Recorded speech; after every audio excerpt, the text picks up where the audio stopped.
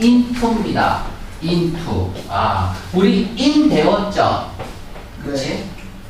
into는 뭐예요? 우리 to도 배웠죠? 네. in과 to가 결합한 게 into예요. 그쵸?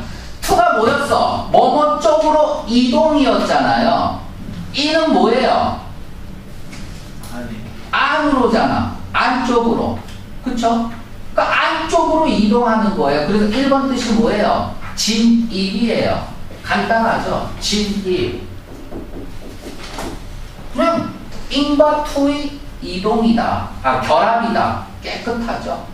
그쵸? to는 뭐라고? 뭐뭐 쪽으로 이동. in은 뭐라고? 범위가 있는 boundary 안쪽으로 이동한 거예요. 그게 into입니다. 두 번째가 중요해요. 변화의 결과라고 쓰고 변 변화의 결과 별표하세요. 형광펜칠하세요. 변화의 결과 이게 중요한 겁니다. 자 예문 봅시다. 그 스위머가 다이빙을 했대요. 진입 어디 안쪽으로 범위가 있는 안쪽으로 이동 인터 됐죠? 이건 설명할 필요가 없습니다. 이 나머지 세 개가 이제 뭐예요? 변화의 인투죠. 변화. 그 공장은 만들어서 만든대요. 물을 만들어서 아이스. 물을 아이스로 만든대요. 그러니까 인투가 뭔지 알겠죠? 감만 잡으면 되는 거야. 자, 나눴대요. 그는요. 케이크를 8개 부분으로 왜 인투를 쓰는지 알겠어요? 변화의 결과. 됐죠? 들어가서 바뀐 거예요. 됐죠? 자, 이 못합니다. 그로운이에요. 자랐다. 그는 자라서, 그래서 잘생겨졌다는 거죠.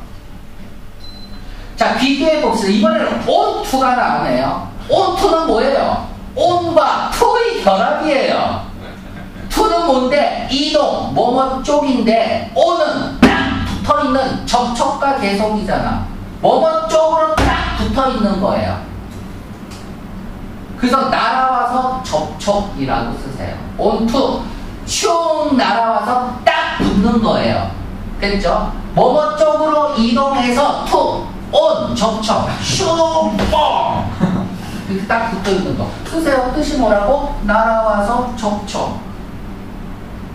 슉 날아와서 딱 붙는 거. 이동해서 to, 접촉, on. 이게 on, to예요.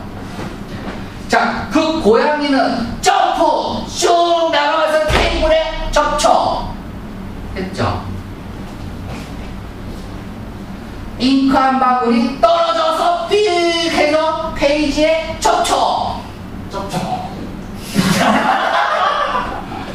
자, 그것은 어, 캐타필 어, 캐터필터 하면은 발사시키다는데 수동이니까 발사되었다죠. 높이 어디 안으로 공기 안으로 이동 이동 그쪽으로 그리고 나서는 지붕 위에 날라서 빵 붙었다는 얘기예요. 그렇죠? 온갖 투의 결합이에요. 간단하죠? 됐죠? 슝 날아서 어디에 붙은 거야? 지붕으로 딱 떨어져서 붙은 거죠.